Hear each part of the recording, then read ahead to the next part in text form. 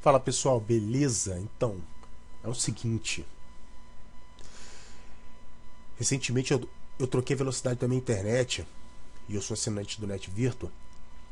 E eles me trouxeram esse esse tijolão aqui, ó. Certo? E o que que acontece?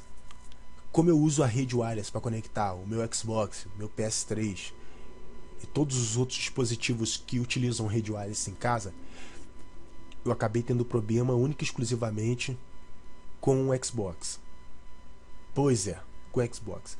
Até o PS3 conectou nisso aqui. Mas não adianta funcionar para todos e, e, e, ficar um de fora da história. Então o que, que eu fiz? Eu levei quase 72 horas para resolver o problema que poderia ser resolvido em 7 minutos. Ou até menos do que isso. O fato é que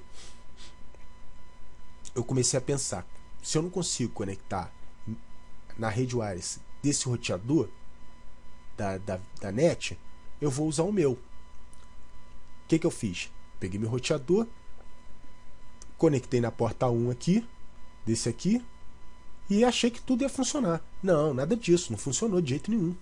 De jeito nenhum. Entendeu? E aí eu comecei a fuçar na internet todos os tutoriais que eu encontrei, entendeu? Não me levava a lugar nenhum.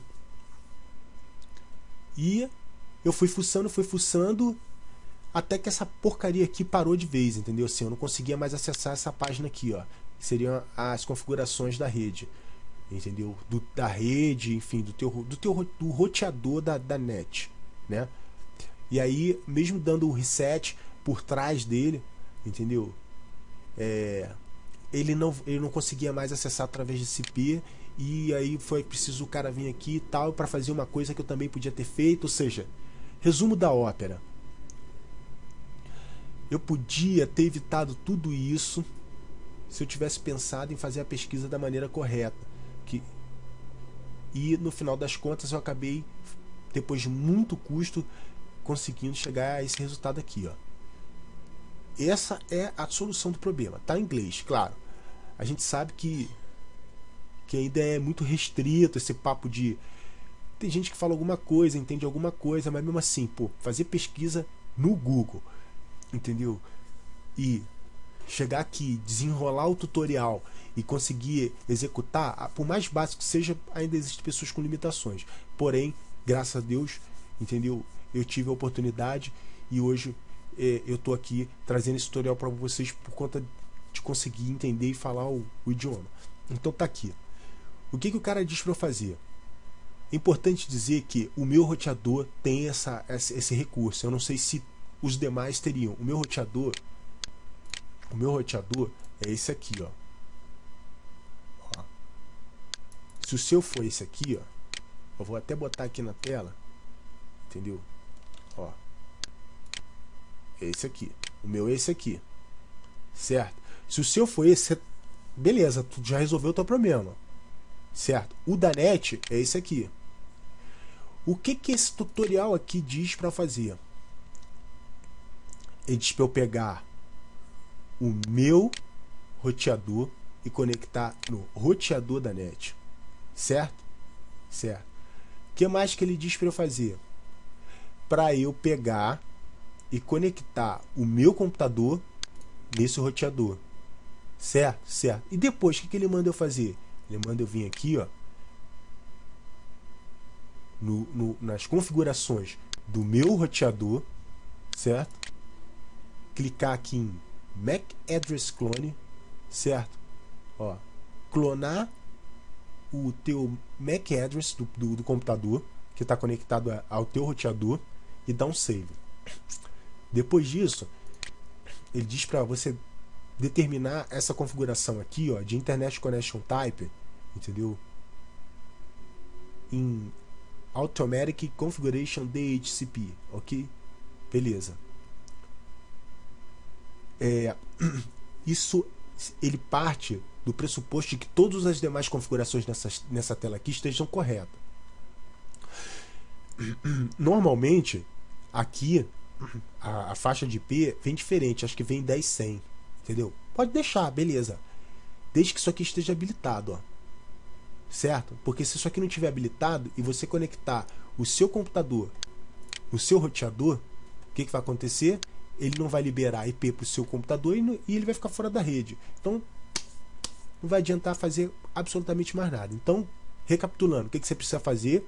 Conectar o seu roteador no roteador da net, vir aqui em Setup, determinar as configurações, o tipo de, determinar o tipo de, de conexão à internet aqui, entendeu? DHCP, certo? Vim aqui nas, nas definições é, setup, ó, e clicar aqui em MAC Address Clone, clonar, só clicar aqui, ó, ele vai, ele não precisa você ir lá e anotar o número do a, a, os, as, os dados do, teu, do teu MAC address para você pegar e colocar aqui. Uma vez que você clica aqui ó, nesse botão, eu não vou fazer porque eu já fiz, entendeu? Você primeiro habilita, depois vem aqui, clica e depois salva. Uma vez feito isso, acabou. Entendeu?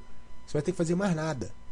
Ah, mas eu preciso fazer alguma coisa aqui, ó, que, que seriam as configurações desse roteador aqui? Não, não precisa. Do jeitinho que ele está aqui, ó. Ó, Basic Setup, ó, já está até fora. Você não precisa. Entendeu? Tudo que você vai fazer vai ser por aqui, ó. Entendeu? Feito isso, é a parte de configuração entre os roteadores está cumprida. Aí vocês vão fazer o que? Vocês vão vir aqui, ó. Vão vir aqui. É, e, e, o que, que vai acontecer? Aqui não, né? Vocês vão vir aqui nessa parte do teu, do teu Xbox, que seriam as configurações de rede. Aí você vai lá em configurações adicionais e vão restaurar as configurações de fábrica. Vai confirmar e vai desligar o, o console. Vai voltar lá nas tuas configurações de rede, localizar a tua, a, a tua, a tua rede wireless, vai colocar a senha da tua rede wireless, claro, e vai mandar testar a conexão e vai funcionar. Se tiver feito tudo certinho conforme eu expliquei aqui, entendeu? Que é Vamos recapitular mais uma vez. Esse é o, o roteador da net que você tem aí. Se não for esse aqui, ótimo, você não vai estar tá, vai tá tendo problema. Mas se for esse aqui e você chegou até esse tutorial, é porque, porque provavelmente deve ser, porque provavelmente você vai estar tá, tá tendo problema. Você vai pegar o teu roteador, vai conectar nesse aqui, nesse roteador aqui que é o seu.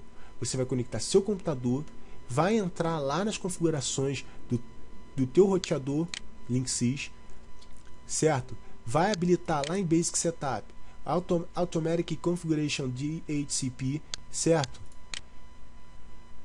É, vai vir aqui MAC address, vai habilitar, vai clonar, vai dar um save. Beleza? Aí vai no teu Xbox, vai fazer aquele procedimento lá, que é configurar a rede, configurações adicionais, restaurar padrões de fábrica, beleza, sim, desligar. Acabou, gente, vai funcionar. Ligar novamente, né? Vai ligar novamente, aí vai lá, tem que explicar bem explicadinho. Então vai lá, vai reconhecer sua rede white, botar senha, aquela coisa toda. E ele vai funcionar, porque funcionou comigo. Graças a Deus.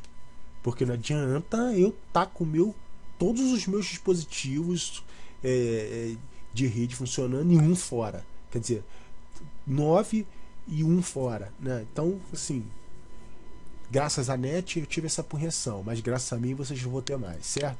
Então é isso, pessoal. Espero ter ajudado todo mundo aí. Na medida do possível, daquele like aí que a gente está precisando realmente, entendeu? E eu espero que da próxima vez eu já volte para jogar um videogame. Falou? Então, um grande abraço, fica com Deus aí. Valeu.